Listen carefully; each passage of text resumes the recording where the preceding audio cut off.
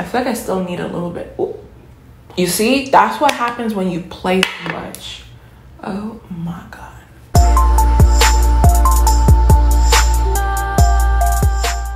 All right, guys, so welcome back to my channel. It is the summertime, okay? So your girl's wearing a lot of colors today. I usually don't wear a lot of color, but I feel like with the no makeup makeup look for the summertime, it just makes sense to do that. So yeah, I really love it. The hat, the shirt, all of that good stuff. Um, so yeah, I wanted to show you guys my no makeup tutorial and the product that I use. Um, this is no foundation at all, just concealer and a bunch of other products um, that I use to get like this put together look but you're not doing too much. And you can honestly do this in like 10 or 15 minutes, you guys, and be out the door, okay? So if you're interested to see how I got this look, make sure you go ahead and hit that like and subscribe button, of course. And yeah, let's get into it and see, you know, what your girl was using on her face. Okay, you guys, so we're a little bit colorful today because I wanted to do like a no makeup makeup for the summertime. So I was like, let me just bring out the color and the vibes, all right? I never wear this much color, but I think it's kind of cute, so let's go with it. But i wanted to do my updated no makeup makeup routine. I have a lot of new products in here that i want to share with you guys and basically what i do. And with this no makeup makeup routine you guys i don't wear foundation. I keep it really simple and just spot conceal. So i want to share with you guys what i use on my face. So let's get into it um, the first and first is we do have the Saint Jane sunscreen and primer in one. I recommend a sunscreen. It is too hot to not be wearing sunscreen. Like if you're not wearing sunscreen, you're playing yourself right now. So I already went ahead and applied this. I usually let it like sit on my face for like a good 30 minutes. Um, that way it's like settled in and it doesn't pile up as I apply my makeup. So I go ahead and apply this. And then also, because it is the summertime, I'm very oily. I also went ahead and used the Makeup Forever Shine Control Step 1 Primer in my T-zone just to help my oils and, you know, all that good stuff. So this is what the face looks like right now. So I'm going to go ahead and start color correcting really quickly. I will say I have a lot of dark marks, you guys. I've been traveling so much. I was in Arizona, I was in London, and also I was in Pennsylvania for like two weeks y'all it's been crazy. So my skin i notice when i don't sleep as much and i'm traveling it breaks out. So that's why i have a lot of dark marks right there. So don't judge me right now. My skin is not the best but we'll get back to normal. So i'm going to take the color corrector and apply it underneath my eyes and just around my mouth. Nothing too crazy. I'm just going to take a little blending brush and just blend this all out underneath the eyes and around the mouth. And you really don't need this stuff, but I just noticed when I use this alongside my concealer, it looks a little bit more flawless. So y'all can see how much better the skin looks, you know, obviously once you color correct just a little bit. Now I'm gonna go in with some concealer. You guys know I've been loving the Fenty Beauty We're Even Longwear Concealer in the shade 445N. I believe it's kind of like coming off but I think it's 445N. We're gonna take this and what we're gonna do is just apply in the areas that need coverage. I notice my skin, you guys, the less makeup I wear, the better it looks. You don't need all of that sometimes. So I'm gonna take this, obviously where I have my dark marks, which is a lot of it at this point, and we're just gonna spot conceal, okay? And this concealer is really nice because it has a lot of coverage and a little bit does go a long way. So we're gonna take this literally everywhere, you guys. And we're even gonna take this around the mouth too. Okay. And then also underneath the eyes. So while that dries, I'm gonna also take my Pat McGrath concealer just because it's a little bit lighter and we're gonna take this in the inner corner of the eye just to have like a little bit of brightness going on. So while that's setting on the face, I'm gonna take my Charlotte Tilbury setting spray and just kind of like hydrate the skin a little bit. Mm, yeah. So going in with my Refy Duo brush, we're gonna just start blending the concealer. Some people swipe like this, but what I do actually is I just pat onto the skin. That way we're adding coverage and not taking away. So we're gonna take this and just pat, pat, pat.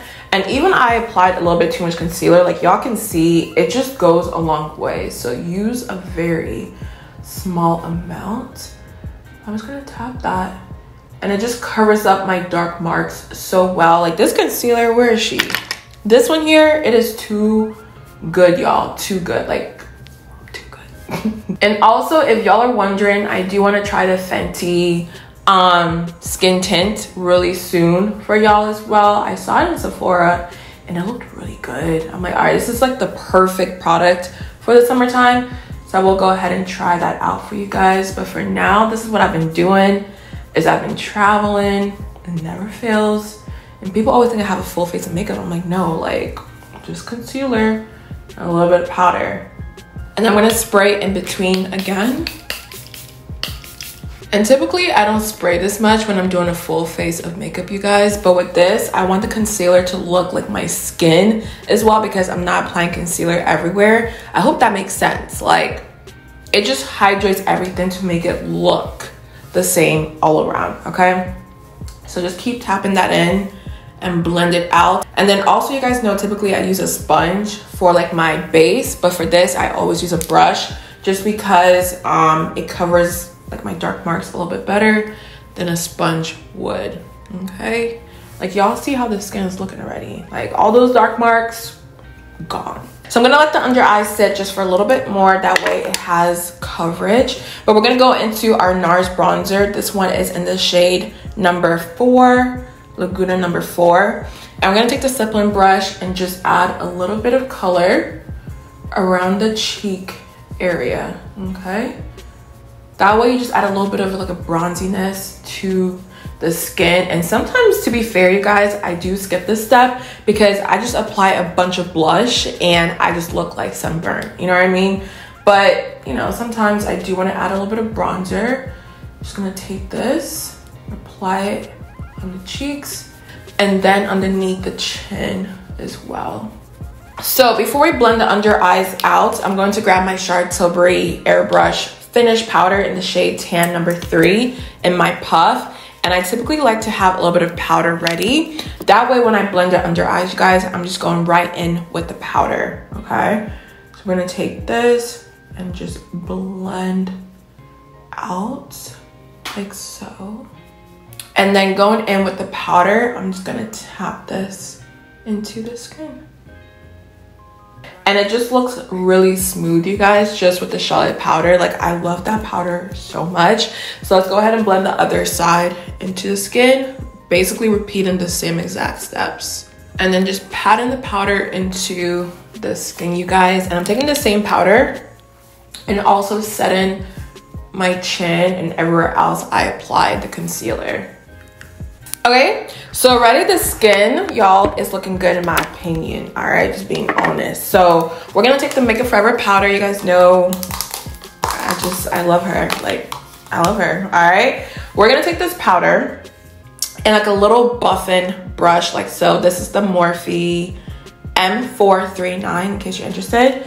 And we're gonna take some of this powder, you guys, but I don't go too crazy nowadays.